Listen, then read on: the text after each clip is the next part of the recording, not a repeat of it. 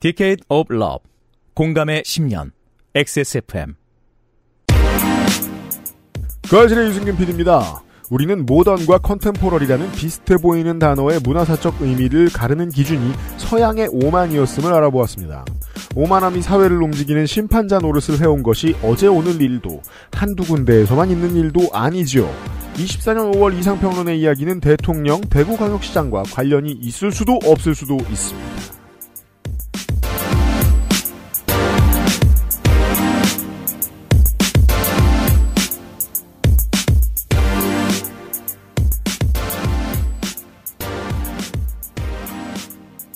저는 윤세민 에디터와 함께 손이상 선생의 이야기를 듣고 있었습니다. 안녕하십니까. contemporary boy 윤세민입니다. 그죠?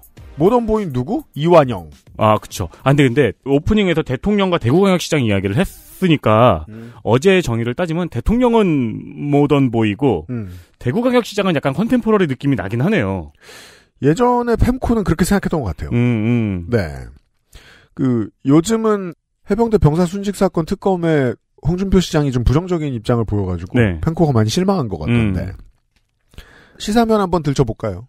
이번 주 화요일에 있던 대장동 위례신도시 성남대프시 백현동 관련 재판이 있었습니다. 이거 이렇게 깁니다 이름이 검찰이 증거로 낸 녹음 파일을 재생했습니다.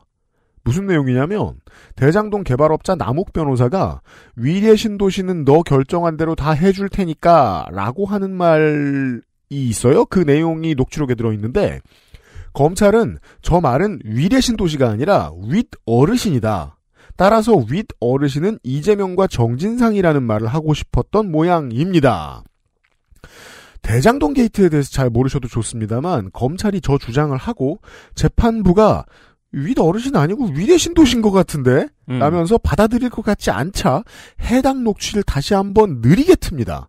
그 사이에 재판정의 방청객들이 웃었다는 언론 보도 정도는 기억해 주셨으면 합니다. 경향신문은 이 상황을 이렇게 표현했습니다. 듣기 평가된 대장동 재판. 어떤 분들이 유튜브 많이 보시는 분들이 이 윗 어르신 관련된 보도가 언론에 안 나왔다고 화를 내시는 분들이 있는데 네. 아니에요.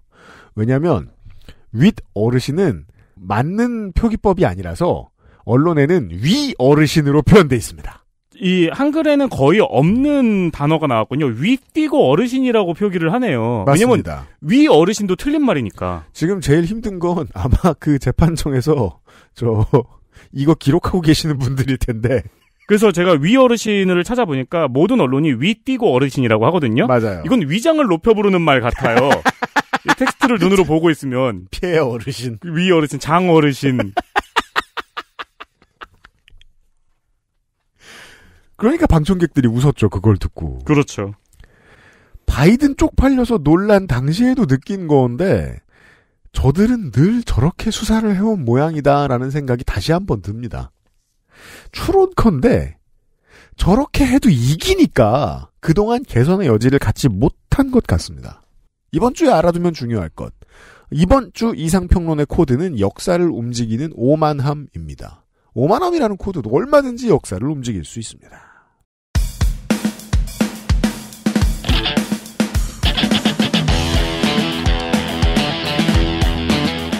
여러 가지 문제로의 다양한 접근. 이상 평론.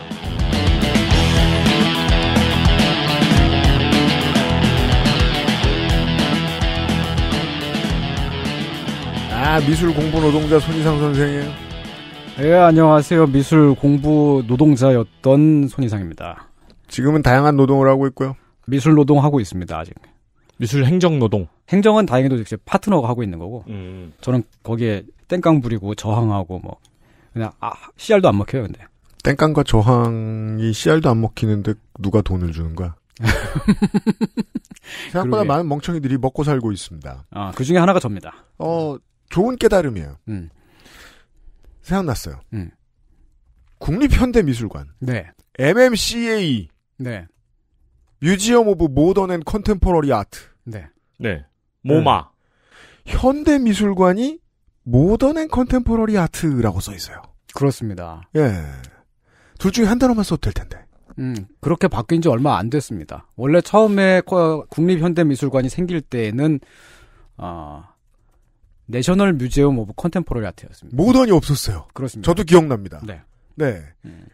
NMCA라고 썼어요. National Museum of Contemporary Art. 근데 modern을 붙였더라고. 네, 이 modern이라고 표- 정의하느냐, 혹은 contemporary라고 정의하느냐, 거기에 따라서 그 미술관의 역할이나 위상이나 그 미술관이 보여주고자 하는 방향이라든가 전부 다 달라집니다. 제가 그래서 지금 어제 그 modern과 contemporary 이 두 단어의 기원이 뭐였었고 실제로 어떠한 용례로 쓰여 왔는지를 말씀드려 왔던 건데요. 모던과 컨템포러리, 모던이 근대라고 이해될 때는 이제 유럽 중심적인 어, 프랑스 중심적인 개념에서 그래 그러했다. 네. 뭐 이런 말씀 드렸었고, 어제 이야기였죠. 네네. 그리고 이제 그 다음에 영국이 등장하죠. 자, 그것을 네. 모던한 광고를 듣고 와서 이야기를 들어보시죠. 그것은 알기 싫다는 리뷰를 확인하면 꾸루꾸루 온유 마카롱, 8시간 달아낸 프리미엄 한방차, 더 쌍화, 대한민국 1호 반값 생리대 29데이즈, 독일산 맥주효모로 만든 데일리라이트 맥주효모 비오틴에서 도와주고 있습니다. XSFM입니다. 여러분도 이제 집에서 쉽게 만나볼 수 있어요. 네, 온유 마카롱이요. 입안 가득 프랑스의 달콤함. 꾸르꾸르 온유 마카롱. 아직도 생리대 유목민? 어떤 생리대를 써야 할지 불안하신가요? 100% 유기농, 발암물질 유해 성분 불검출. 어떠한 피부에도 자극 없이 안전하게. 무화학 수압 가공. 100% 국내 생산. 믿을 수 있는 생리대. 소중한 사람들, 소중한 당신에겐 29 데이즈 유기농 real cotton ultra slim. 임금님께 진상한 전통 방식 그대로. 현대인에 맞춘 프리미엄 한방차 더 쌍화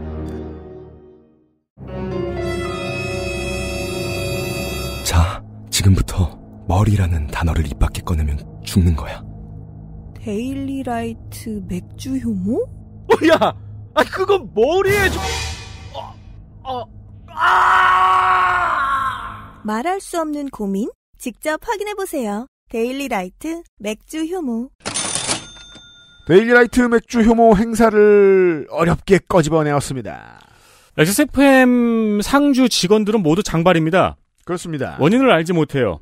맥주 효모 가정의 달 행사 중입니다. 다량 구매 시 할인되는 방식을 원래 맥주 효모는 취하고 있었는데요. 그렇습니다. 여기에 20%를 더했습니다. 20% 할인해 드립니다. 맥주 효모 4병을 구매하면 1병을 더 증정을 드립니다. 쟁여놓고 드세요. 설날 이후 처음 진행하는 최대 할인과 증정 이벤트입니다. 저도 요때 쟁여놓고 먹고 있거든요. 몇 년째 꾸준히 먹은 사람들의 간증이 후기에 많으니 확인해 보시길 바랍니다. 맥주 효모 저희가 1년에 3번 할인하면 많이 하는 겁니다. 그렇습니다. 별로 기회가 없습니다. 제가 네. 마흔쯤 되니까 느낀 건데 신체에 유지라는 건 없어요. 나아지거나 나빠지거나 나빠지는 걸 늦추거나 넷 중 하나예요. 유지되는 건 없더라고요. 그렇습니다. 그리고 나아지는 건 일시적이거나 계속 나아지기가 아주 힘들어요. 맞아요. 따라서 2, 3번밖에 없어요. 나빠지거나 느리게 나빠지거나. 음. 그 중에 뭔가에 도움이 됩니다. 나아지는 건 사실 그냥 근육 얘기였고요. 근육은 나아지니까. 다른 건 나아지기가 어렵죠. 액세스몰에서 만나보십시오.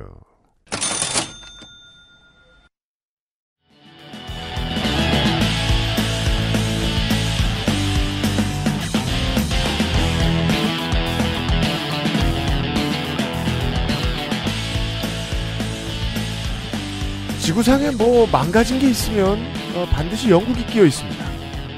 마- 망가졌다고 할 수는 없어요. 그냥 좀 약간 다르게 썼을 뿐이지. 이렇게 요즘 저 팔레스타인 때문에 고민이 많기 때문에. 네. 네. 음. 사이언스도 원래 뜻하고 다르게 가져간 나라입니다. 영국은. 네.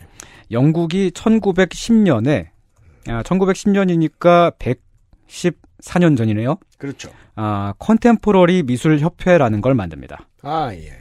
1910년 아, 한국에서는 아직 고종 황제가 살아 있을 때였죠. 그쵸. 그렇죠. 어, 영국의 컨템포러리 미술 협회는 여전히 있는 단체입니다. 그때부터 지금까지 계속 있었고요. 공공 자금 지원을 받기 때문에 민간 단체이지만 일종의 준 국가기관의 역할을 하고 있다고도 할 수 있겠습니다. 자유총연맹. 음, 네.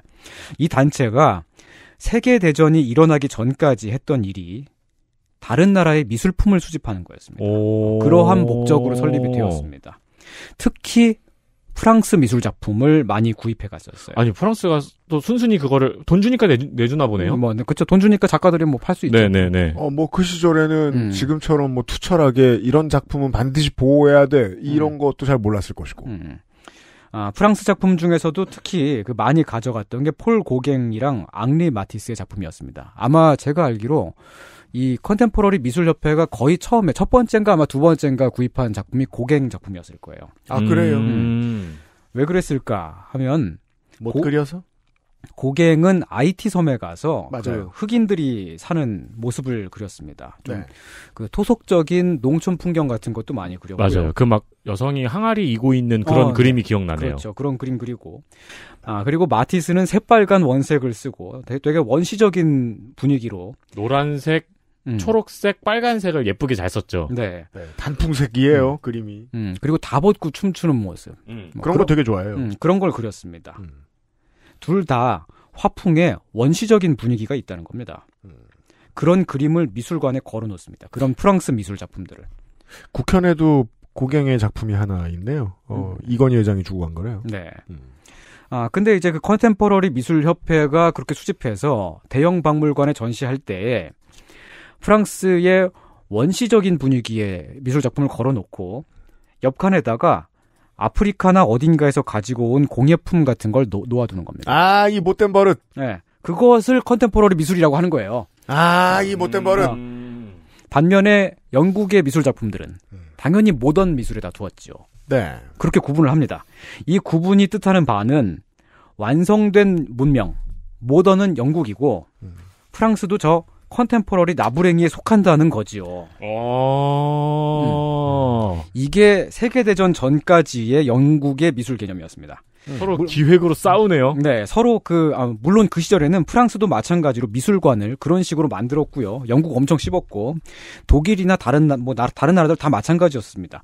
미술관이라고 하는 제도가 국가 이데올로기를 만드는 장치인 것처럼 그 안에서 구현이 되는 모던 미술과 컨템포러리 미술의 구분도 사실은 프로파간다인 겁니다. 그러네요. 지금은 영국하고 미- 프랑스가 서로 그런 식으로 막 서로 씹 는 걸 잘 안 하는데 얘네가 더 구식임. 네. 그래도 여전히 루브르 박물관과 대형 박물관을 가서 그 비교를 해 보시면 미묘하게 그런 남아 있는 차이를 여전히 느끼실 수가 있으실 야, 겁니다. 그거 음. 재밌네요. 네. 각각 그 관점을 가지고 보면 재밌겠네요. 그렇죠. 얘네들은 프랑스 중심적인 시각으로 이렇게 만들었고, 어. 얘네들은 영국 중심적인 시각으로 이렇게 만들었고. 공부와 여행의 즐거움인 음. 것 같아요. 네. 어, 100년, 200년째 버리지 못하는 습관을 구경하기.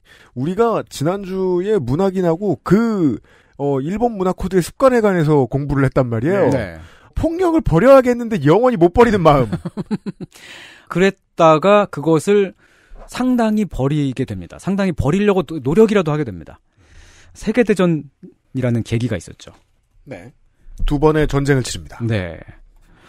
어, 1, 2차 세계대전을 겪으면서 모던과 컨템포러리의 개념이 달라질 수밖에 없었습니다. 유럽이 세계에서 가장 발전된 문명인 줄 알았는데, 걔네들은요, 그렇게 생각해왔는데, 오히려 유럽 사람들이 사람을 더 많이 죽이고, 막 인종학살 저지르고, 죄 없는 사람 조지고, 더 많이 그랬다는 거죠. 야. 세계대전 지나고 나서 보니까. 우리가 진보한 게 맞아? 음, 그쵸. 그러한, 어, 반성, 회의가 막 들기 시작합니다. 우리는 학살범들이구나. 네. 이렇게 세계대전으로 생긴 변화가 아주 상징적인 게 있는데요. 1차 세계대전이 끝나고 나서 모던과 컨템포러리의 역사라는 프랑스 학술지가 모던의 역사, 이스토아 모데른이라고 제목을 바꿉니다. 음. 컨템포러리라는 구분을 버리기로 한 용기를 낸 건가요? 음, 그러니까 프랑스뿐 아니라 전 세계가 다 동등한 모던이구나. 라고 음. 받아들인 거죠. 지금은 다시 모던과 contemporary 역사라고 돌아왔습니다만. 아, 그래요? 네, 그 지금 사용하고 있는 용법은 모던과 contemporary를 문명과 미개 이런 식으로 구분하는 건 아닙니다. 음. 아 그리고 영국의 contemporary 미술 협회 1910년도부터 어, 세계대전 때까지는 어, 유럽의 미술 작품들, 주로 프랑스의 미술 작품들을 구입했었습니다만 네. 네. 이 contemporary 미술 협회가 2차 대전이 끝나고 나서부터는 영국 작품들을 수집하기 시작했어요. 음. 영국 스스로가 자기네가 컨템포러리 나부랭이구나라고 받아들이기 시작했다는 거죠. 어. 이거는 이제 그 우리 저 게시판에서 어, 화가 난 사람들이 네. 어, 영국에도 있어가지고 네. 영국의 게시판에 하여간 영국 것들이란 이러면서 음. 우리 개 미개함 음. 이- 이러면서 한 게 아니라 음. 근데 그런 그 성찰은 주로 발견되죠. 좀 더 고차원적인 자각 네. 네. 비슷하긴 해. 네. 네. 그리고 이렇게 세계대전이 지나고 나서 이 판에 미국이 등장합니다. 아 그렇죠. 모든 판엔 미국이 등장합니다. 네. 언젠가는. 미국은 이제 스스로 자국의 미술을 어, 미국 미술이라고 하는 것은 20세기 초반 때쯤까지 강력한 유럽의 영향권 안에 있었거든요. 네. 유럽 유럽 에 유학을 가서 배워온 사람들이 미국 미술의 그 미국의 화단을 구성을 했고 그렇죠. 미국에서 그애 좀 똘똘하면 다 유럽에 유학 네, 보냈으니까. 아니면 유럽으로부터 유럽에서 이민을 온 사람들 그렇기 때문에 미국에서 미술을 하더라도 음. 그가 프랑스에서 온 이민자, 네. 영국에서 온 이민자라면 그건 영국 미술이라 하고 프랑스 미술이라고 했겠죠. 그렇죠. 정체성을. 그게 음. 유- 미국과 호주의 역사죠. 예, 세계 대전 문화사죠. 전까지 미국의 미술이라고 하는 것은 유럽 미술의 하위 개념 그런 그런 거였는데 아 예. 세계 대전 대전이 끝나고 나서는 스스로 자국의 미술을 유럽과 분리시키기 시작해요. 거기에서 컨템포러리 미술이라고 하는 개념을 다시 쓰기 시작합니다. 오, 나 어저께 이거 내용 모르고 한 말인데. 예. 그 정확하게 말씀하셨었어요. 새로운 용례를 만들어내기 시작하는군요. 네, 60년대 후반, 70년대, 80년대 이때의 미국의 실험적인 미술을 컨템포러리라고 스스로 부릅니다. 그래서 음. 이 영국인들의 오래된 농담이 있잖아요. 네. 하여간 미국은 모든 걸 다 가져가서 다 망쳐놓는다. 음. 대표적인 건 뭐 영어, 음. 뭐 이런 것처럼. 네.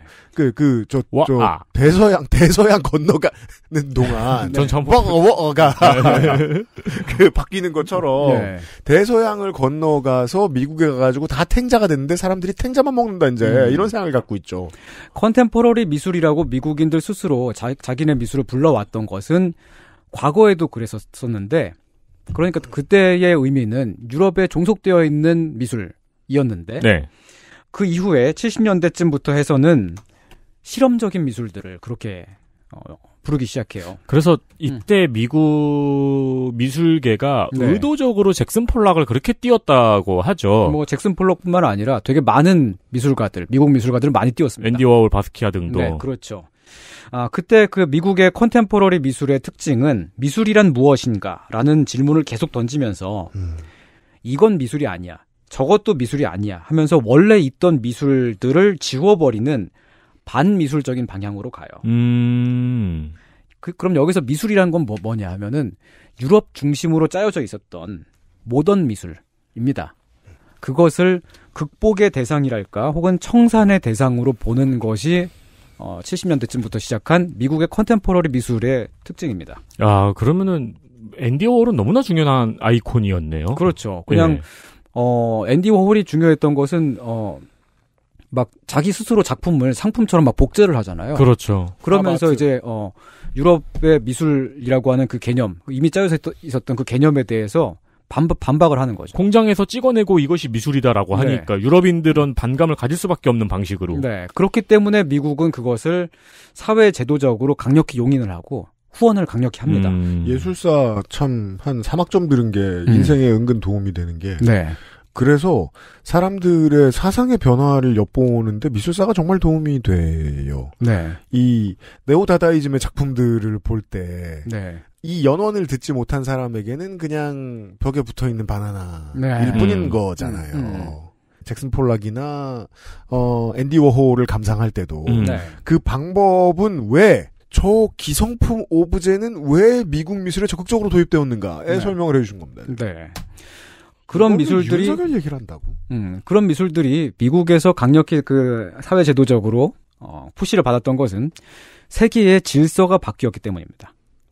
프랑스어였던 국제 공용어가 2차 대전이 끝나고 나서 영어가 되죠. 네. 그, 그게 되게 상, 상징적인 사건이에요. 음. 그, 정확히는 이제 그 미국어가 국제 공용어가 됩니다. 그렇죠, 그렇죠, 그렇습니다. 그렇죠. 전쟁으로 무너진 유럽 세계는 구시대의 세계이고 그렇죠. 가장 발전되고 부유한 문명으로서 미국이 초강대국으로 떠올랐습니다. 기축 통화도 파운드가 아닌 달러가 되고. 그렇죠. 근본위가 달러 본위로 바뀝니다. 네. 음.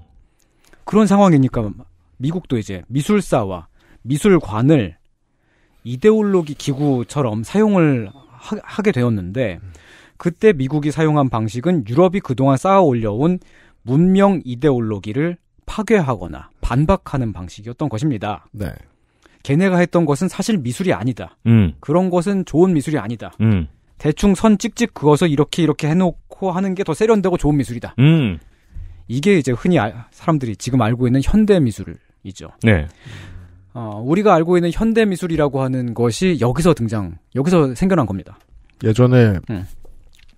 제가 지금 밑바닥 수준의 저의 미술에 대한 기억과 지식을 지금 다 끌어올리고 있거든요. 네. 개인전을 한, 한 두 번 가봤습니다. 네 네. 개인전을 가는 거는 70평생에. 굉장한 매니 아닌가요? 근데 70평생이라고요? 70평생이라고요? 아, 그건 요즘 저 문재인 대통령이 유행시킨 말이에요. 아, 그래요? 제 70평생에 이런 네오 다다이즘 작품은 음. 처음이다. 음. 어, 로젠 퀴스트전을 갔었어요. 음. 이 사람이 광고판 같은 작품을 만드는 걸로 유명했죠. 네. 네. 대통령 선거 사진 가지고 이거 작품이라고 내놓고. 음. 예. 그때 그 설명을 처음 접했었거든요. 네. 팝아트는 어쩌다가 유럽이 따라할 수 없는 무엇이 되었는가. 음. 유럽은 초현실주의를 따라했다고 얘기를 들었어요. 초현실주의라는 건 그 붓과 펜을 가지고 사물이랑 똑같이 그리는 거죠. 개 똑같이 그리기. 하이퍼리얼리즘이요? 예. 네. 근데 그, 그 표현력과 다다이즘의 표현력은 수준 차이가 너무 났어요. 음. 어린 제가 봤을 때에도. 음. 그, 그 시절의 미국 예술이 지금의 케이팝 같다고 할까요? 음.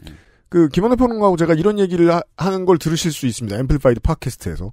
지금 케이팝이 내놓을 수 있는 최선의 상품은 미국은 포기했다. 음, 음. 방법도 모르고 지금부터 시작하는데 너무 많은 지식이 필요하고 경험치가 필요해서. 음. 아, 이해됐습니다. 아, 미국의 음악계는 어쩌면 옛날 영국이 했었던 방식을 채택하고 싶은 유혹을 느낄 수는 있겠네요. 컨템포러리를 전혀 다른 개념으로 되살렸습니다. 이렇게. 네. 음. 음, 좋아요. 공부인데 이번 주? 네, 그 사람들이 지금 현대 미술 하면 생각하는 이미지가 뭐 뭔가 막 주렁주렁 매달아 놓고, 음. 혹은 막 점 같은 거 하나 찍어 놓고, 그렇죠. 변기에다가 사인하고, 뭐 아니면 백남준. 네, 뭐 다짜고짜 남의 넥, 넥타이를, 넥타이를 자르거나 자르고. 뭐. 근데 부자고자 그렇죠. 네, 듀샹은 프랑스의 인물. 프랑스 사람이지만 미국으로 건너갔죠. 그러니까 이제 프랑스의 미술을 듀샹이 완전히 부정해버린 거죠. 아, 미술을 부정했다기보단 뭐랄까 평론가를 부정했나? 20세기에 남의 넥타이를 다짜고짜 자르면 모던 아트. 네. 문신이 정중부의 수염을 다짜고짜 불러 태우면 무인정권. 음. 좋습니다. 이러한 현대 미술은 대체로 지금 다 오디오를 채우고 음. 있습니다. 설명충입니다. 네. 아, 아, 설명이- 그래, 그래, 네, 맞아. 그 특징이 그래요. 내가 좋아하는 이유가 그거야. 음. 작품을 보고 바로 이해가 안 되고 그 맞아요. 옆에 써 있는 설명을 다 읽어야지 돼요. 네. 그게 없으면은 그 작품에 아예 접근조차 못 해요. 사람들이 농축 칼럼을 좋아하는 이유죠. 음. 음. 예, 저렇게 대놓고 설명충이 필요하다. 음. 사람들이 그런 것을 현대 미술이라고 생각하는데 사실 그것은 미국 미술입니다. 아, 통쾌. 음. 미국의 현대 미술입니다. 통쾌하면 보통 오답이지만. 어. 아, 그 왜, 왜냐하면 이게 세계의 보편적인 현대 미술이 아니에요. 네. 어. 아, 물론 이제 이런 미술을 하는 미술가들이 미국 출신이 아니거나 미국에서 활동하지 않는 경우도 많이 있습니다만 그 작가들의 세계관이랄까 미술 개념은 미국 중심으로 짜여져 있다고 봐야 됩니다. 왜냐하면 이러한 미국식 미술 개념 안에서만 컨템포러리라는 단어는 모던과 대립되는 뜻으로 그리고 모던과 시기적으로 구분되는 뜻으로 쓰이거든요. 아, 모던과 컨템포러리라는 단어 안에 이렇게 많은 함의가 있군요. 네. 그 시기적으로 이- 음. 지역별로 다른. 네, 그래서 이 단어를 어떠한 뜻으로 사용하느냐, 어떤 맥락으로 사용하느냐, 그게 유럽 중심적인 시각이냐, 미국 중심적인 시각이냐, 내 자기가 어떤 이데올로기에 영향을 받았느냐를 거기서 다 음... 드러냅니다. 음, 한국은 유럽이나 다른 나라들보다도 미국의 영향을 압도적으로 많이 받는 나라이잖아요. 네, 뭐 다른 분야에서는요. 전 뭐 미술은 잘 모르니까. 네, 미술이 특히 더욱더 그런 것 같습니다. 한국의 미술 역시 이 미술 개념, 미국식 미술 개념의 영향을 압도적으로 많이 받고 있습니다. 음. 미술 학도들이나 미술 작가들도 흔히 컨템포러리 미술이라고 하면 모던 미술의 다음에 온 오는 가장 최신의 세련된 미술이라고 생각들을 해요. 이 컨템포러리라는 단어는 한국에서는 적어도 미국에서 수입됐군요. 네. 그리고 모던 미술을 낡고 옛날 거라고 생각들을 하기도 합니다. 그건 유럽 거. 네. 이러한 시대 구분이 거의 미술에만 있습니다. 아, 이해됐어요. 음. 어제 음악과 패션 얘기를 했는데 상관 겁내 없네요. 그렇죠. 음. 음. 연극이나 공연 예술 분야만으로 가도 컨템포러리의 반대말은 대체로 클래시컬이에요. 그렇죠. 왜냐, 네, 왜냐하면 그 공연 예술은 발달한 나라가 영국이잖아요. 음. 그리고 영국은 컨템포러리라는 단어를 클래시컬의 반대로 예술사에서 그렇게 써- 써왔었고 그 영향이 생긴 거고 음악에서는 이 구분 자체가 별로 없거나 오히려 컨템포러리를 더 낡은 걸로 보거나 구글에서 contemporary rock이라고 검색하면 되게 자동적으로 modern rock이 나오잖아요. 음, 네. 그래서 그 모던과 contempo를 그렇게 막 중요하게 막 그렇게 나누지 않습니다. 맞아요. 그것은 왜냐하면 contemporary라는 단어 자체가 원래 지금의 시대를 뜻하는 단어가 아니기 때문에 그런 거죠. 지금 시대를 뜻하는 단어는 오히려 모던이고요.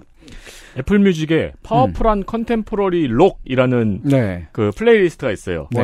푸파이터즈, 로얄 블러드, 음. 어 modern rock이잖아요. 네, 알라바마 스네이크, 음. 네 그렇게 나와요. 레- 라이안 아담스, 음. 영건스, 뮤즈.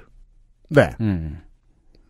뮤즈가 그나마 최근이네요. 음. 40대들이 좋아하는. 네. 네. contemporary라는 단어를 미국식으로 쓸 때 그 단어가 보편적으로 맞는 뜻으로 쓰고 있는 걸 아니기 때문에 그래서 미국 중심의 contemporary 미술이 세계적인 보편성을 갖지는 못합니다. 이게 그 미술 현대 미술의 한계입니다. 유럽의 모던 미술은 그게 비록 이데올로기 작업에 쓰였던 거라고 할지라도 사람들이 그걸 보면 감동을 받지 않습니까? 음. 어, 감동을 시키려고 만든, 만든 거니까요. 네. 네. 나름의 보편성이 있다는 거죠. 그런데 이제 그 미국식의 contemporary 미술은 감동을 받지는 않습니다. 음. 앤디 워홀이에요. 음. 그냥 머리로 재밌다고 느낄 수는 있어. 아, 이렇게 맞아요. 개념을 바꾼 것이 되게 재밌다고 느낄 수는 있는데, 근데 하지만 김은국 씨를 감동시킬 수는 없어요. 네, 감동하지는 않습니다. 네. 아, 앤디 워홀이에요. 그러니까 안 됩니다. 그리고 여러 가지 이론을 통해서 그 네. 컨템포러리 미술을 저항적이거나 전복적이거나 급진적이라고 여러 가지 설명을 할 수는 있는데 그것조차 보편적이지가 않습니다. 이해됐습니다. 어, 프랑스와 데리베이 같은 미술 이론가들이 맨날 씹는 게 그거예요. 이 뭐이이 사람은 프랑스 사람이니까 당연히 미국에서야 인종 정체성이나 젠더 정체성을 다루는 PC한 작품이 저항적일 수가 있는데 그게 다른 나라에서는 안 그렇다.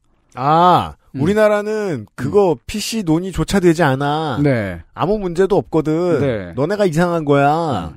미국은 어떤 면에서 되게 진보적이지만 그 안에 그 나라 안에 엄청나게 보수적인 사람들도 되게 많잖아요. 네. 그래서 막 퀴어 코드가 반영된 미술 작품이 미술관에 걸려 있으면 막 기독교회라든가 막 학부모들이 몰려와서 항의를 하고 그래요. 실제로 지금도 그런 일이 있어요.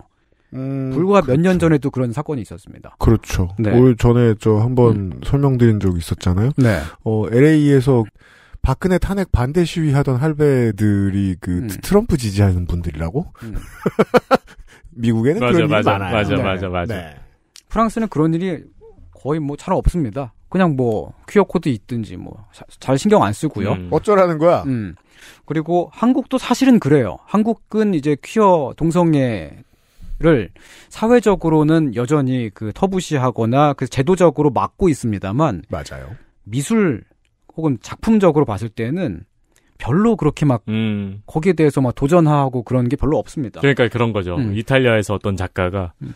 커피에 에스프레소에 물을 넣는 그림을 그린 거예요. 음. 세상에 이건 전복이야. 어. 혹은 피자에 파인애플을 넣는 그림을 그린 어. 거야. 이건 혁명이고 전복이야. 그렇죠. 이건 진보야. 음. 근데 미국 가면은 그냥 메뉴판이잖아요. 그렇죠. 한국 와도 그냥 메뉴 그죠. 네. 어. 그냥 온 지역의 어르신들이 와가지고 시리아 방송되고 그렇죠. 파인애플 많은 물 많은 작년에 국립현대미술관 올해의 작가상 4 명이 있었는데 그 중에 한 명이 게이였거든요. 네. 아, 다른 유명한 게이가 기르던 선인장을 분양받아서 계속 키우고 뭐 그런 걸 전시하고 뭐 그런 게 있더라고요. 작품이에요? 네. 아, 그, 그걸로 그 게이 공동체의 역사를 보여주는 거죠. 저 되, 아, 되게 네. 재밌게 봤어요, 그 작품. 네네네. 그거, 그거 말고도. 다. 네. 다른 작품들도 다 그렇게 그 성적 정체성이 강하게 반영되어 있는 작품들이었는데. 네. 그거 보고 아무도 뭐라고 안 하잖아요. 안 하죠.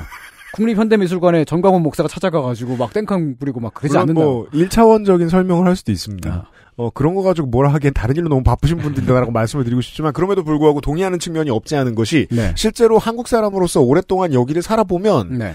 제 70평생에 음. 한국 사람들 그렇게 두 분류로 나눠 줄 수 있어요. 음. 정체성 문제 있어. 뭐 이런 게 있어. 음. 그래? 뭐 어쩌라고 나랑 사귈 거야? 음. 음. 뭐 이런 민족이야. 음. 그래? 너네 부모님 맛있는 거 잘하는 거 뭐 있어? 음. 이 정도 수준으로 끝나는 사람 반. 네. 그리고 이걸로 정치적 이득을 얻고 싶어하는 그 보수적인 사람 반. 네. 서로 신경 안 쓰고 사는 편이에요 미국보다. 네. 네. 좀 달라져, 좀 갈라져 있죠. 맞아요, 맞아요. 아, 그 미술가가 이제 이강승 작가라고 주로 미국에서 활동을 합니다. 그렇군요. 미국에선 그런 작업이 진짜로 날카로운 거예요. 아. 진짜 현실적인 미국. 위협을 마- 맞부딪혀야 되는 거예요. 미국 살기 빡세네. 근데 한국에선 뭐 그런 거 해도 뭐 그런가 보다 하죠. 어떻게 보면 살기 빡셀 수도 있고, 음. 어떻게 보면 미술가가 진보를 제시하기 편할 수도 있고, 네. 예술가가. 음. 그래서 이제 그 모던 미술의 반대, 대척점으로서의 컨템포러리 미술이란 개념도 네. 80년대, 90년대, 2000년대로 오면서 조금씩 바뀌게 됩니다. 음. 이그 미국 중심으로 짜여져 있는 이 컨템포러리가 절대로 보편성을 가질 수가 없기 때문에 음. 네. 나라마다 그것을 그 개념을 조금 조금씩 변경해서 자기네들에 맞게 어, 컨템포러리라는 그 판을 짜기 시작해요. 네. 맨날 뭐 주렁주렁 매달아 놓고 벽에 글씨 몇 개 쓰고 예술이라고 하고 있고 그러면 그걸 누가 좋아하겠습니까? 컨템포러리 미술 개념이 변화해 오는 그 과정을 보면 미국 말고 다른 나라들이 그것을 현대 미술로 이해하는 그, 그 과정이 컨템포러리가 기존의 미술이 아니다. 모던 미술이 아니다. 여기까지는 같은데요. 컨템포러리 미술은 그렇다면 무엇이냐라고 했을 때 그 결과 값이 미국하고 달라지는 겁니다. 음. 아, 예를 들면 이제 스페인에 있는 아주 유명한 컨템포러리 미술관이 있죠. 빌바오 미술관이라고. 빌바오 미술관. 네. 그 안에 들어가 있는 내용은 건축입니다. 그래요? 네. 그 미술관에서 다루는 주제 자체가 건축이에요. 빌바오 구겐하임 미술관. 네, 네. 와 멋있게 생겼다. 예. 그 미술관 자체도 건축 예술로서 지어진 거죠. 야 대박. 네. 예. 전 세계에서 가장 유명하고 영향력 있는 미술관들 중에 하나인데 그 거기는 미술이란 곧 건축입니다. 어, 음, 야, 맞아요. 이거, 이거, 이거 무명 시리즈의 거의 저 음. 끝판 깨기 직전에 나올 것 같은. 네. 어디서 본 것 같아요. 네. 이게 상징적인 건, 건축물 중 하나로 본 것 같아요. 네네. 바깥에 있는 조각상 몇 개랑 뭐 형식적으로 걸어놓은 장식품 뭐 그런 거 몇 개 좀 빼고는 거의 그냥 있는 게 다 건축입니다. 왜 스페인은 그런 기관, 그런 기구를 통해서 현대 미술을 건축이라고 제시를 하는가? 왜냐? 왜냐? 스페인이 민주화가 되고 나서 80년대 유럽연합에 가입을 했잖아요. 그때 유럽연합으로부터 되게 많은 지원금을 받았습니다. 오늘날의 스페인이 있기까지 참 힘들었습니다, 경제적으로. 네. 그 지원금을 2000년대까지 계속 받고 있었어요. 네. 스페인은 지구상 최후까지 남아 있었던 파시스트 국가였는데 그럼요. 민주 국가가 되어서 다시 유럽의 품으로 도- 돌아왔으니까 그렇게 환영을 해줬던 거죠. 그래서 이제 스페인이 그 돈을 가지고 나라를 발전시키는 데 씁니다. 가장 손쉽게 할 수 있는 경기 부양책이 있죠. 공구리. 예, 어, 건설 사업들을 벌 벌입니다. 음. 어맹부식. 네. 스페인이 땅덩이가 엄청 큰 나라예요. 그렇죠. 예, 지도상으로 보면 별거 아니라고 느낄 수 있는데 엄청 큰 나라입니다. 그럼요. 어, 엄청 큰 나라인데 그동안은 가난했기 때문에 텅텅 비어 있었어요. 파시스트 나라들은 다 가난하잖아. 아, 그래서 이제 그, 그 돈을 가지고서 이제 거기다가 갑자기 또 막 건물 같은 걸 막 지을 돈이 갑자기 생겼어요. 처음에 네. 지난 정권 때 음. 갑자기 사람들이 파주에 땅 엄청 많이 살 때가 있었어요. 네. 그때 건설사들이 음. 통일부에 로비한다는 얘기를 되게 많이 들었어요. 어. 나중에 이제 북한 시장 개방되면 네. 자기들이 먼저 진출하려고. 네. 예. 원래 후진국 시장이 갑자기 개방되면 음. 건설사들부터 날아갑니다. 네, 뭐 펑펑 들어가죠. 그리고 그 같은 시기에 유럽의 여, 여러 나라들의 젊은 건축가들은 뭘 더 지을 땅도 없고요. 뭐 땅이 있더라도 비싸고 돈도 없고 그랬습니다. 네. 근데 스페인에 가면 다 있잖아요. 그렇죠. 네. 그래서 전 세계에 주로 유럽의 젊은 건축가들 막 좀 실험적인 건축가들이 다 스페인으로 가서 별의별 희한한 건물들을 마구 지어 올려요. 음, 음. 그래서 서- 스페인은 지금 이제 어 건축을 현대 미술이라고 제시하는 게 나름대로 자기네 나라가 건축 분야에서는 현대 건축 분야에서는 짱이다. 음. 다른 나라들과 연결되어 있는 보편적인 것이고 스페인이 그 분야에서 가장 앞서 있다고 걔네들은 그렇게 생각하는 것입니다. 음, 가장 늦은, 가장 현대와 가까운 전성기였으니까요. 그렇죠. 네. 또 북유럽의 나라들은 대체로 contemporary 미술이라고 하면 커뮤니티 예술만을 뜻합니다. 아, 그래요? 네. 커뮤니티 예술? 네. 아, 어. 그, 황양의 일이? 아, 공방? 네. 네네. 뭐 그러니까 contemporary라고 하는 단어 자체에 공동체 활동이라는 뜻을 넣어버려요. 음. 마을 공동체 센터 막 이런 데에서 할머니들이랑 같이 실뜨개질하고 근데 북유럽은 실뜨개질이 진짜 예술이긴 해서. 네. 아, 그래서 메탈 뜨개질 경연대회가 있는 거예요? 뭐 그런 거 막 생기죠. 그 community art 아니야 우리가 제- 우리가 아는 유일한 그렇죠. 유럽에 그런 것을 con, contemporary라고 하고요. 그런 것만을 contemporary라고 해도 됩니다. 막 레이저 쏘고 영상 틀어놓고 미술관 안에 막 설치 미술 같은 거 하고 음. 그런 거는 전혀 contemporary라고 보질 아, 않아요. 하지만 음. 마을 주민들이 모여서 벽화 만들 벽화 그리기 활동을 했어. 음. 그럼 그건 컨템포러리 아트인 네네. 거죠. 네. 어. 음. 음, 제가 좋아하는 미술가 중에 핀란드에 그 마이유 아흘그렌이라는 할머니가 있습니다. 뭐 하시는 분입니까? 뭐 미술가죠. 아 그렇겠죠. 네. 죄송합니다. 핀란드에서는 되게 유명한 메이저 미술가입니다. 네. 병원에서 환자들이 쓰는 침구가 있잖아요. 친구. 네, 침구. 그러니까 그 환자들이 썼으니까 매일매일 이제 세탁소에 보내가지고 세탁하고 다시 다시 가, 지고 오고 하겠죠. 네네네 그렇죠. 어, 그렇게 할 때마다 그 병원으로 다시 보낼 때 그 베개 커버 안에다가 좀 어, 쪽지를 넣어둬요. 음. 그 쪽지에다가 이제 어, 오늘 좋은 하루 되세요라든가 세상은 아름다움으로 가득 차 있습니다.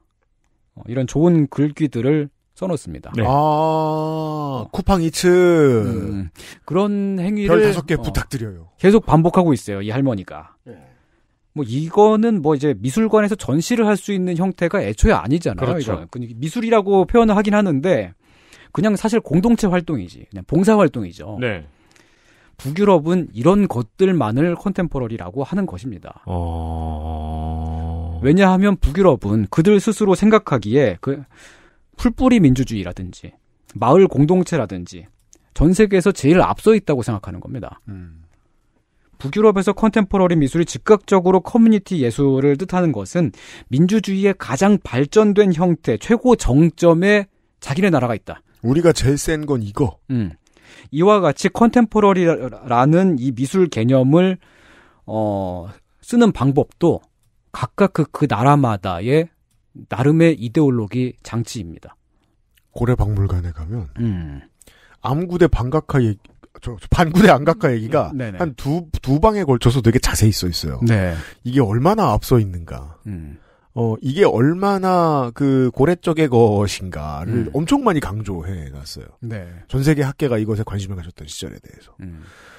자긍심이라는 코드를 반드시 내어놓아야 하는 게 당연한 것처럼 여겨지는 어떤 selection이 었어요. 네. 음. 그렇다면 무엇으로 자긍심을 가지게 되는가가 되게 중요한 질문이겠죠? 네. 아, 그 질문에 대한 답변이 빌바오에선 저렇고 음. 북유럽에선 저렇다. 네. 이런 상상도 되네요. 만약에 우리가 컨템포러리 아트라든가 미술 번역을 일본에 의지하지 않았다면은 네. 우리나라에서 컨템포러리 아트라는 단어의 용례는 어쩌면 뭐 민중가요라든가 음. 민중예술, 민중미술 쪽에 붙었을 수도 있겠다. 라는 상상도 하게 되네요. 어, 그- 최근에 아. 멋진 전시가 저 서울 시내에 많죠. 음. 어, 라면 도서관. 음. 그거 실제로 보면 장관이에요. 되게 미학적 쾌감이 어마어마합니다. 음. 쉘프에 라면이 쭉 꽂혀 있는데, 네. 예. 오. 한국인들이 봐도 신기한데 외국인들은 환상적이죠. 그렇죠. 저는 최근에 좀 되게 인상 깊게 보았던 전시가 광주의 아시아 문화의 전당이라고 했는데 그렇죠. 비엔날레. 네. 아, 비엔날레 아니고요. 그냥 비엔날레 아시아 한데 아니에요? 아, 아, 비엔날레 거기서 하나 아, 하, 하, 하기도, 하기도 하죠. 그 그죠? 아시아 문화의 전당이라고 하는 곳은 미술 기관은 아니에요. 그냥 문화 아시아 문화 연결하는 그렇군요. 기관인데 네. 거기서 제가 보았던 게 아시아 무역의 역사를 표현하는 전시가 있었어요. 네. 그 막 남 동남아시아에서 이제 향신료 무역을 할 때 있었잖아요. 그 향신료들을 다 직접 거기 전시관 안에 쌓아 놓습니다. 막 멋지네요. 어. 실제로 음. 향이 나겠네요. 향이 나고 사람들이 직접 만져볼 수 있고 냄새 맡아볼 수 있습니다. 와. 근데 그 전시가 인상 깊었던 거는 그것을 들고 와가지고 이쪽에 막 반짝반짝한 막 보석 같은 걸로 되어 있고 신기하게 막 신기한 구조물로 짜여져 있는 어, 구조물이 있었어요. 그거 한국 작가가 만든 구조물인데 네. 거기에 그 향신료를 가지고 와서 딱 올려놓으면 빛이 막 나요. 어? 그게 그 사실 한반도는 그 동남아시아 향료 무역에 네. 핵심적인 역할을 했던 적이 없었잖아요. 역사적으로. 그렇죠. 근데 그렇게 해가지고 가지고 오면 동남아시아의 무엇인가를 가지고 와서 한국의 구조물에 딱 놓았을 때 빛이 반짝반짝 나고 했을 때 거기서 나한테 느껴지는 감각이 되게 있더라고요. 한국이 짱이야 이 무역에서 라고 하는 그런 느낌이 있더라고. 짱인 적은 없지만. 없지만 그렇지만 그렇게 사기를 치는 거죠. 음. 근데 뭐 그렇다고 해서 우리가 뭐 저 영국이나 프랑스처럼 뭐 우리의 되게 귀한 도자기를 훔쳐온 것도 아니고. 그렇죠. 우리 아무것도 안 훔쳐봤어요. 향신료 가져온 건데. 뭐. 향신료 그거 돈 주고 샀을 거예요. 네, 그렇죠. 시장에서 사면 돼요. 네, 뜯어온 건 아닐 거야. 자, 지금까지 제가 모던과 컨템포러리의 개념을 떠든 이유가 이제 밝혀집니다. 광고를 듣고 오면요. 네. XSFM입니다.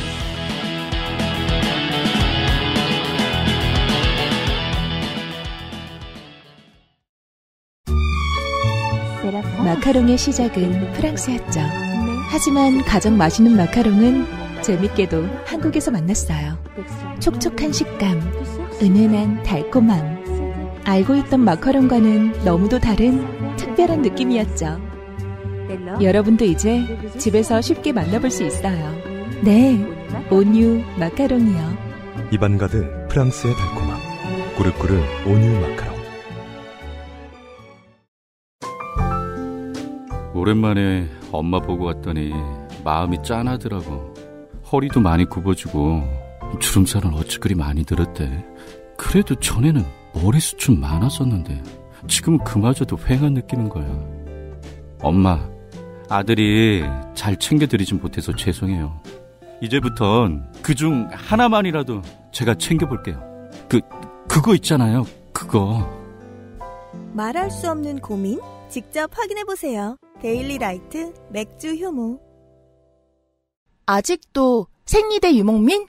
어떤 생리대를 써야 할지 불안하신가요? 100% 유기농, 발암물질 유해 성분 불검출. 어떠한 피부에도 자극 없이 안전하게. 무화학 수압 가공. 100% 국내 생산. 믿을 수 있는 생리대. 소중한 사람들, 소중한 당신에겐 29 Days 유기농 real cotton ultra slim.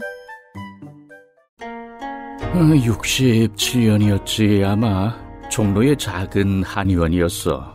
진도산 구기자 청궁 당귀 숙지황.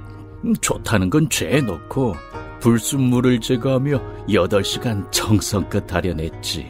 임금님께 올린 그 방식 그대로 말이야. 부드럽고 달콤한 전통의 쌍화차. 요즘 사람들은 그걸 더 쌍화라 한다지 현대인에 맞춘 프리미엄 한방차. 더 쌍화. 더 쌍화. 김을 연속으로 서너 번 빼서 불순물을 제거하고 8시간 이상 달여낸 전통의 방법으로 만든 쌍화차. 오랜 시간 동안 연구하여 현대인의 기호에 맞게 개발된 맛입니다. 비싸더라도 기후, 토질 등 환경을 고려해서 약효가 제대로 담긴 최고의 재료만 사용을 했고요. 물론 뭐 시각처 검증은 물론 완료를 했고요.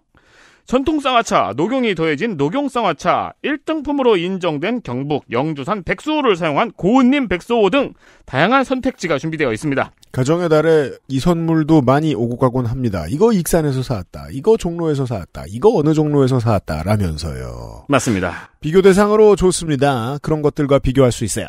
선물로 좋은 박스 패키지, 그리고 건강한 현대인의 차, 덧쌍화와 함께 가정의 달을 보내봅시다. 요것도 하나 들고 가셔가지고 마주 앉아서 쌍화차 끓여가지고 이제 호록호록 마시면서 뭐 옛날엔 쌍화차 어떻게 먹었냐 이런 것도 한번 여쭤보시고 가정의 달엔 쌍화차입니다. 액세스몰의 선물입니다.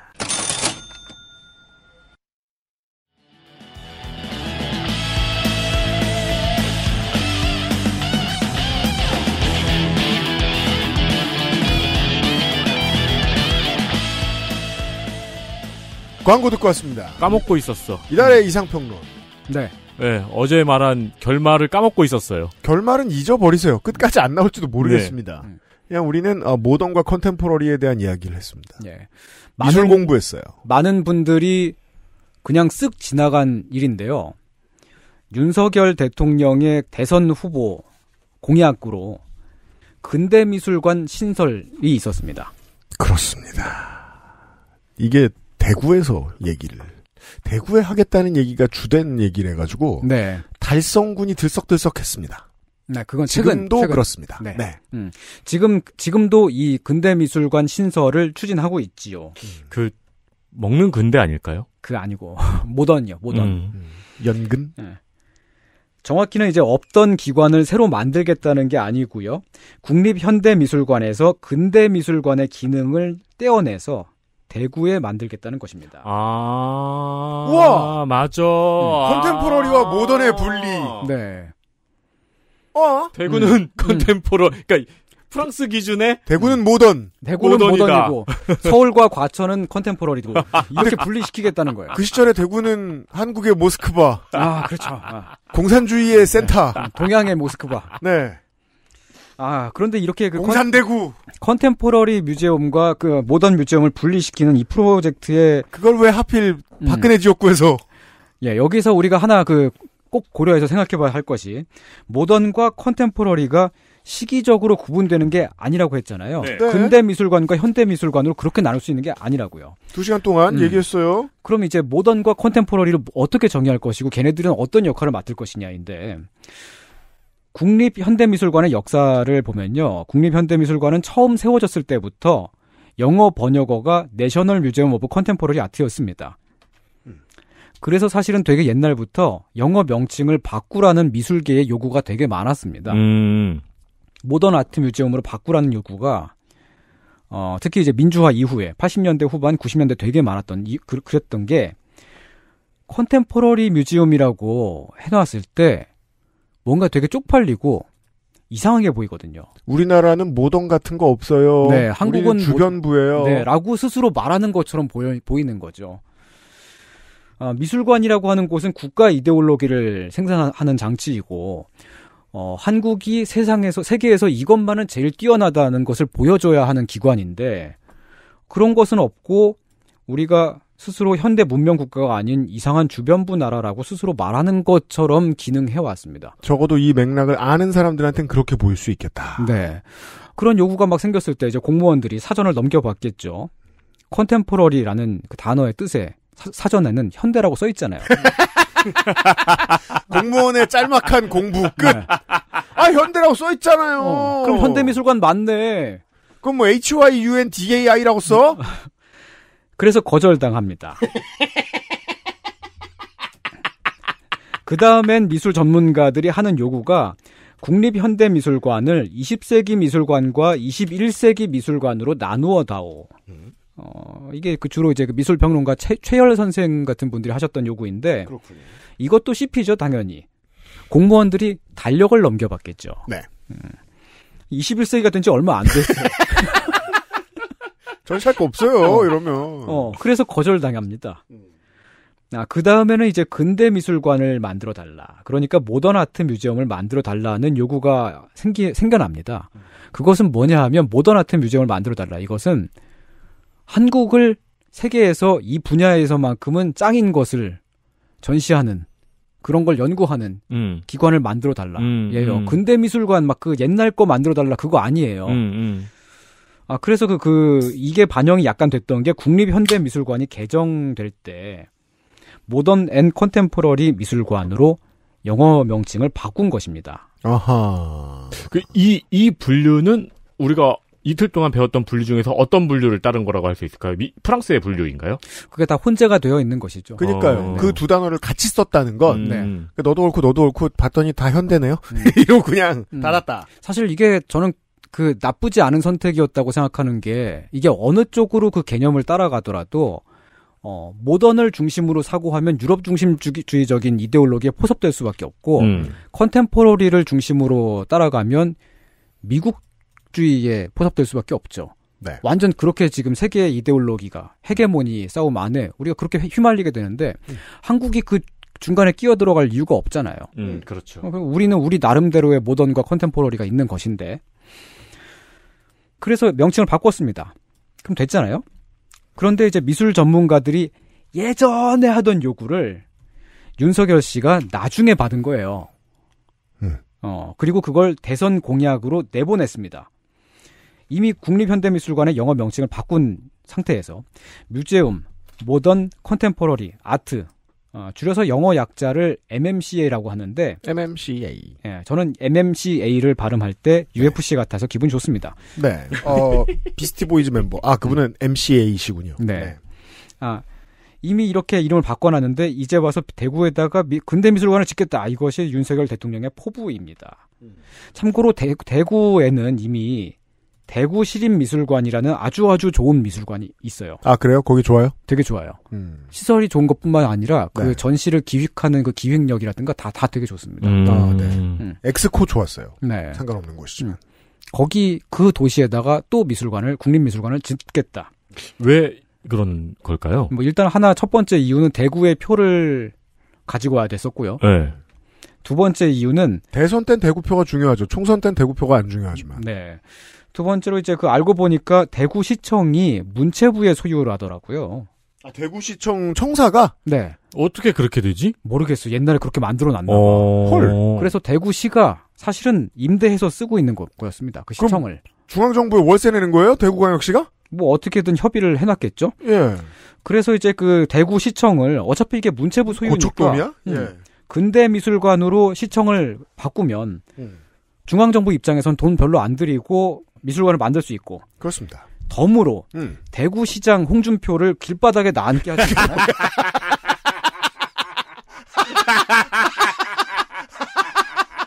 아, 시장이 출근해 보니. 네, 어, 시- 시청이. 사무실이 사라졌어. 미술관이 돼 있어가지고. 미술관이 돼 있고. 근데 뭐, 월 시장, 우리 대구 시장님은 행정적 능력과 정치적 능력이 없으기 때문에 할 수 있는 일은 페이스북에다가 화내는 것밖에 없잖아요. 그거밖에 없잖아요. 이 무례한 놈들아! 이러면서. 그런 상황에서 이 대통령은 이걸 할 생각이 얼마나 즐거울까요? 홍준표 시, 대구시장이 혼자서만 나앉는 게 아니고 대구시 공무원들이랑 다 같이 길바닥으로 길바닥으로 가는 겁니다. 그래서 지난 한 1년 동안 홍준표 시장이 대통령이랑 아, 약간 이제 그 신경전을 벌이듯이. 근데 그. 신경전을 벌이는 것도 사실 페이스북에다 글 쓰는 것밖에 없었어요. 그렇게 해서 그렇습니다. 어, 배틀을 뜹니다. 나름대로. 예. 아, 대구시청 말고 여기다 지으면 어떨까? 안 돼. 그럼 여기는 어떨까? 안 돼. 이걸 몇 번 왔다 갔다 해요. 아, 그랬군요. 네. 그러한 배경에, 기저에, 음. 이게 깔려 있는 겁니다. 홍준표 시장이 아주 필사적입니다. 음. 홍준표 시장은 어떨 때는 정부를 씹기도 하다가, 그렇죠. 그 다음엔 이준석을 씹- 씹다가, 맞아요. 그렇죠. 그러니까 이준석을 씹으면서 약간 간접적으로 아부를 하는 거죠. 음. 그러다가 또 이제 뭐 한동훈을 씹다가, 그죠. 한동훈과 윤석열의 사이가 안 좋아진 것 같으니까 한동훈을 싣기 시작합니다. 네, 울다가 웃다가 그러는 이유가 다 있습니다. 왜냐하면 대통령은 진심으로 대구시청을 없애려고 하는 것처럼 보이는 거예요. 그렇게 생각할 수밖에 없는 이유가 근대미술관을 분리하겠다는 것은 국립현대미술관을 다시 컨템포러리 미술관으로 바꾸겠다는 건데 한국은 아직까지도 북유럽이나 스페인 혹은 아니면 미국처럼 우리만의 컨템포러리라는 것을 국립현대미술관에서 제시를 한 적도 없고요. 그런 작품을 보유하고 있지도 않고 음. 그런 개념을 미술사적으로 정밀하게 연구해 놓고 있지도 않습니다. 자, 다시 말해서, 음. Museum of Modern Arts라는 걸 만들어 놔도, 네. 거기에 맞는 curation이 될 역량을 아직 보여준 적이 없다. 네. 그럼 그냥 건물만 놓는 건데, 음. 건물을 왜 굳이 시청 있는 자리에 놓느냐. 음. 이건 이제, 대구시청이요. 음. 거기서 일하시는 공무원 노동자분들이 계신지 모르겠습니다만, 청취자 여러분들 중에, 음. 제가 보는 입장에서는 정말 세상 좋은 목입니다. 음. 시청목으로 이렇게 좋은 데가 없어요. 네. 일단 먹자 골목 맛있는 데가 주변에 너무 많고 점심 먹고 나서 바로 옆에 국제부산공원이 있어요. 아, 거기가 이제 치킨의 성지죠. 회사 끝나고 어디로 약속을 가도 가까워요. 네. 지금이야 뭐 야구장이 이전을 했습니다만 음. 광주는 어, 시청의 공무원들이 이러한 자유를 누리기 위해서 시청 아예 신도시를 지어야 됐거든요. 상무지구. 그렇죠, 그렇죠. 네. 예. 대구는 진짜 제일 좋은 목의 시청이 있어요. 가장 여기서 홍준표를 쫓아내겠다. 가장 핫한 동네잖아요. 동성로 그쪽에 가깝잖아요. 아, 정말 찜갈비 골목 옆에서 여생을 지낼 수 있다면 저는 행복할 겁니다. 음. 그러니까 정부 대통령 공약으로 공약 사항으로 굳이 이런 것을 추진하는 이유가 무엇일까라고 그 컨템포러리를 다시 그렇게 되돌려 가면서까지 굳이 그렇게 해야 하는 이유가 무엇일까를 생각하면 결국은 홍준표다. 그렇죠. 그거 말고는 결론이 없는 거예요. 홍준표 쫓아내는 거 말고 무슨 목적이 있겠어요. 그리하여 윤석열의 모던한 선택은 홍준표 제거. 큰 그림. 아, 올해 초까지 국립현대미술관에서 이런 전시가 있었습니다. 한국 현대미술의 동시대성. 컨템포러리. 네. 영어로 Contemporaneity in Korean Contemporary Art라는 제목으로 전시를 했었는데요. 음. 이게 한국이 세계에서 가장 발전된 것 혹은 가장 잘하는 것 이런 걸 내놔야죠. 그런 걸 내놔야 되는 건데 네. 그게 아니고 그냥 뭐랄까 어 그냥 요즘 그린 거. 요즘 그린 것도 아니에요. 한 92년도의 설치 작품 같은 것들. 옛날 거기 막 건데? 보니까 뭐뭐 공성훈 작가 작품이라든가 뭐 30년 전인데? 네, 뭐 아니면 또 박이소 작가라든가 둘 다 제가 좋아하는 작가들입니다만 아니 훌륭한 작가들인데 네. 옛날 작품들일 거 아니에요. 그렇죠. 그게 옛날 작품일 뿐만 아니라 아 지금 2020년의 관점에서 그 90년대 작품을 봐도 그런데 그때 90년대 그때 그 당시에 한국이 처음으로 막 그 대외 개방이 되면서 음. 외국에서 공부하고 온 사람들이 어, 외국에서 예전에 하던 것을 배워가지고 90년에 그렇잖아요. 적용을 시켰잖아요. 술 때는 시기잖아요. 어, 그러니까 그때 그 시대에 한국의 그 설치 미술 이런 그좀 그런 현대 미술 작품들 보면은 사실은 그 양식적으로나 그것을 뒷받침하는 미술 이론이라든가 어렵게 말할 필요 네. 없어요. 세계의 트렌드를 방금 수입해 들어오기 시작했는데 그때의 작품이 세계를 선도하고 있었을 리가 없잖아요. 음. 네. 근데 이런 류의 전시는 세계를 선도하는 무언가를 보여줘야 된다고요. 그쵸. 게 커뮤니티의 민주주의든 음. 아니면 온 유럽이 모여서 만들어낸 현대적인 건축 양식이든 음. 그런 거 아니잖아요. 네, 그런 것은 없습니다. LCK 우승팀을 전시할 거 아니잖아요. 그렇지, 그렇지. 르세라핌을 전시할 거 네. 아니잖아요. 예, 사실은 그래서 이제 그런 작품들을 볼 때, 그런 전, 정확히는 그런 전시들을 볼 때에 관객이 느끼는 감각은 촌스럽다? 에 가깝지 않을까 싶어요. 네, 네. 왜냐하면 다른 나라에서 뭐 70년대 하던 거 아니야? 어. 라는 생각이 들기 충분하거든요. 아, 그걸 contemporarity라고 얘기하면 안 되죠. 네. contemporary라고. 그렇기 때문에 어 사- 사실은 이제 그 문체부 통계를 보더라도 문체부의 공식 통계에 국민 예술 활동 조사라는 통계가 있는데 한국인의 95%는 1년에 단 한 차례도 미술관에 가지 않습니다. 아, 네. 음. 쉽지 않아요. 음, 이것을 미술계는 아 미술이 너무 난해하고 어려워서 그런 게 아닐까? 뭐 사람들에게 좀 다가가기 어려운 것일까라고 생각들을 하기도 하는데 그게 아닙니다. 미술이 촌스러워 보여서. 저는 가끔 전시를 보러 가는데 네. 작년이랑 올해 3년 동안 통틀어서 음. 한국 작가의 전시는 딱 한 번 갔네요. 어. 예, 한 10번 정도 간 것 중에서 한국 작가의 전시는 딱 한 번 간 것 같아요. 나머지는 전부 다 내한 작. 한국 작가 전시도 좋은 것들 되게 많아요. 근데, 네, 네. 근데 그런 전시들은 보통 미술이라고 미술에 포함되지 않습니다. 한국 안에서. 음. 뭐 예를 들자면은 뭐 웹툰 웹툰은 한국에서 시작됐고 사실상 네. 한국에서 웹툰이라는 문화의 정점을 이루었잖아요. 네. 그리고 해외- 외국에 수출을 하고. 네. 그럼 웹툰은 한국이 짱인 거예요. 그렇죠. 그럼 컨템포러리 아트라는 개념 안에 웹툰이 들어가지 못할 이유가 없잖아. 음, 그렇죠. 그런데 웹툰은 한국에서 좀 이제 좀 주류 미술계에서 보면은 그건 예술이 아닌 것으로 생각을 합니다. 음. 그런 시각이 강하게 있고요. 또뭐 요즘에 지금 제가 녹음하고 있는 이때가 5월 초인데 어, 불교 연등회 행사하고 있지 않습니까? 네. 어, 그렇죠. 연등 막 걸려 뭐, 있습니다. 뭐 광화문이나 이런 데 가면은 그렇죠. 오 거기에 설치되어 있는 것들 보면 뭐 깜짝 놀랄 정도예요. 불교미술 쩔죠. 어, 불교미술 저기 쩔어요. 청계천에 막 네, 막 거예요. 그렇게 막 이렇게 어 빛을 막 내면서 막 네, 나오잖아요. 맞아요, 맞아요. 근데 그런 거 다른 나라에 없잖아요. 그렇죠. 아, 뭐 아시아에 이제 그런 연등회라는 그게 있어도 그게 나름대로 정점으로 발달되어 오고 발전되어 온 데는 한국이에요. 맞아요. 그럼 그걸 컨템포러리 예술이라고 하지 않을 이유가 없는데 그건 우리가 짱인 거니까. 음. 근데 그런 것은 뭔가 주류 미술에 포함되지 않습니다. 음. 그리고 뭔가 좀 그, 어, 미국에서 70년대 했던 거, 80년대 했던 것을 음. 뒤늦게 배워온 것을 좀, 어, 핵심, 핵심적인 음. 미술로 보고 있는 그런 기획이 좀 많고요. 그런 상황이기 때문에 컨템포러리 미술, 미술관을 분리하겠다는 그, 그리고 모던 미술관을 분리하겠다는 이 윤석열의 이 대통령의 사고관은 결국은 이게 그 대구시청에서 대, 그 대구시장을 쫓아내기 위한 것이 아니냐라는 그런 결론으로 갈 수 있, 가장 갈 가장? 유력한 그쵸? 유력한 것은 근거입니다. 가장 그렇죠. 이게 이게 그러니까 과학적인 거죠 이게. 음. 어, 어제 제가 말씀드렸던 그 과학 개념에서 어, 가장 과, 학적인 추론입니다. 네, 그렇습니다. 음. 뭐 하여튼 그런 얘기예요 이게. 그 그나마도 그 음.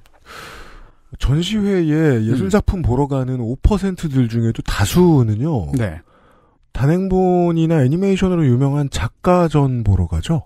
아 그런 거 많이 맞아요, 맞아요. 제가 맞아요. 아는 사람들 제일 많이 간 게 이토준지전. 북디자인 페어라든가 북디자인 페어가 아니고 뭐죠? 그 book design 어 그런 그 전시가 있어요. 네. 제가 올해 제일 가고 싶었던 전신데 또 지금까지 못 간 거는 디즈니 100주년 전. 음. 아니 아니 워너브라더스 100주년 전. 음. 네, 진짜 짱 가고 싶었어요. 그 이토준지전 새로 하는 것도 저는 가, 가려고 마음 먹고 있고 어, 그런 네. 전시를 보러 사람들이 주로 많이 가고 신카이 마코토 전도 전 보러 갔었고 지브리 전도 보러 갔었고 사실 그 미술 전시를 한국에서 국립기관에서 내세우려면 진짜 한국이 이건 짱이야라고 하는 걸 내세워야 되는데 그렇죠. 그거 혹시 보신 적 있으세요? 그런 걸? 못 봤죠, 못 저는 봤죠. 못 봤던 거. 같아요. 민예총에서 하는 거는 뭐 왜 고르셨는지 아니까. 아 민예총에서 아니 아니야 그 그것 그것도 하- 아 모르겠습니다. 그거 거기 좀 할아버지 감성이에요. 예, 예. 근데 그래도 curation의 이유, 스토리보드 정도는 제가 파악하는 데 도움이 됐는데. 아 그렇죠. 아 나름대로 네. 그래도 이제 노동자의 모습을 그릴 때 막 비참한 모습 막 그렇게 막 불쌍한 사람으로 모습을 보- 음. 하기보다 네. 막 되게 주체적인 막 당당한 그런 그런, 거 정도 그런 정도로 하는 읽을 그런, 건. 있죠. 네. 그거 말고 현대미술 curation에서 만족한 적이 있나? 음. 우리나라에서? 음. 예, 기억이 없습니다, 저는. 한 우리나라의 현대미술이라는 개념을 생각해봤는데 잘 모르겠어요. 우리가 지금 modern과 contemporary에 비해서 한참 드- 배웠는데 물론 저랑 세민이가 과문해서 그렇죠. 그렇죠. 물론 당연히 그렇죠. 다녀보면 뭐 보석 같은 좋은 전시회들이 있을 수 네, 있어. 죄송합니다, 여러분. 있습니다. 네. 그런데도 불구하고 네. 어, 미술사를 공부했고 관련된 일을 평생 하고 있는 선생이 봤을 때 이 modern art museum을 새로 대구에 만들려고 대통령이 하는 이유는 modern art 때문이 아니다. 네. 홍준표를 쫓아내려고 하는 그렇다. 홍준표를 라고 쫓아내려고 홍준표 하는 아웃. 음. 그렇게 결론을 낼 수밖에 없는 그런 이제 상황적인 근거가 있습니다. 뭐 그 얘기예요. 이렇게 윤석열 그래서 얘기를 빡친 홍준표 시장이 음. 현대미술 작가로 데뷔했으면 좋겠다. 음. 무라카미 다카시 같은 작가가 되는 거죠. 아 그리고 자기 페이스북에 이제 욕 그만 올리고 이제 자기 작품 올리는 거예요. 음. 아, 홍준표 시장이 미술을 얼마나 사랑하시는 분이시냐면은 음. 그 대구에 있는 어떤 화가가 홍준표 시장의 초상화를 그렸어요. 네. 그래요? 그 화가를 대구 문화원장으로 앉혔다. 뭐 오. 엄청난 사람이죠. 어, 저 홍준표 시장한테 얘기해줄 좋은 아이템 떠올랐어. 요 어. 그냥 시커멓게 쫙 칠해놓고 어, 제목은 진주 경남의료원. 와, 근데 그거는 와, 훌륭하다. 쌀거다 최고. 네. 아, 자기 인생을 통해서 이룬 업적에 대한 작품이에요. 대구시는 지금 이제 달성군에 근대미술관을 유치하려고 노력을 하고 있습니다. 심지어 왜 달성군이냐? 거기 어. 그 초상화 그린 그 화가가 고교 동창이네요.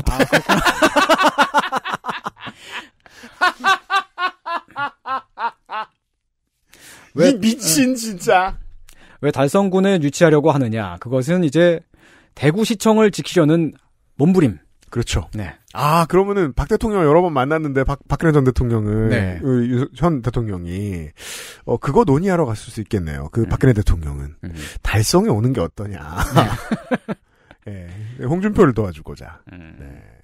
그런 게 아닌 이상 우리가 두 시간 동안 아무리 생각해봐도 Museum of Modern Art가 대구에 들어오는 이유를 이해할 수 없다.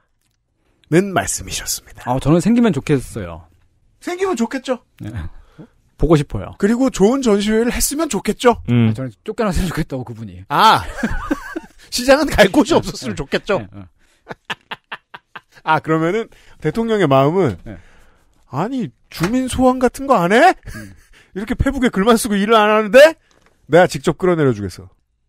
일 수 있겠다. 결국은 정치평론이었습니다. 아, 이상평론이었습니다. 네, 손희상 선생과 함께 했습니다. 곧 안 바빠져요 또? 뭐, 그래요. 네. 예, 더워지기 전에 또 만나요. 그래요. 수고 많으셨습니다. 네. 자.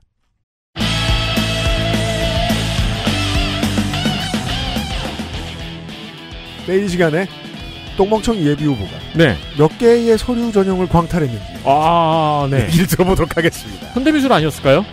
놀라운 현대미술이 나올 수 있는데요. 음. 진짜 엄청난 퍼포먼스인 게 출마하겠다고 나온 다음에 새로 생긴 정당이 10개가 넘어요. 음. 행위예술이네. 그죠. 네. 어, 무엇을 보고 경험했는지 국회의원 임기가 몇 년인지도 몰랐던 사람이 정치를 어떻게 경험했는지 내일 들어보시죠. 토요일에 다시 돌아오겠습니다. 유승균 PD와 유승균이었습니다. 그것은 알기 싫답니다. 안녕히 계세요. XSFM입니다. I D W K